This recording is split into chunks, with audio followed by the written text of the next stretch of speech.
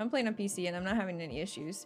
There's some mild stuttering every once in a while, but it's not bad. Mark, thank you for the reset for 17 months. Where's Elden Ring? I just started 17 minutes ago. We're gonna get into it. Don't worry. Something dumb. Thank you for the reset for five months. It's kind of hot now. I should go turn the heat down. Some point. A big turtle shell shield.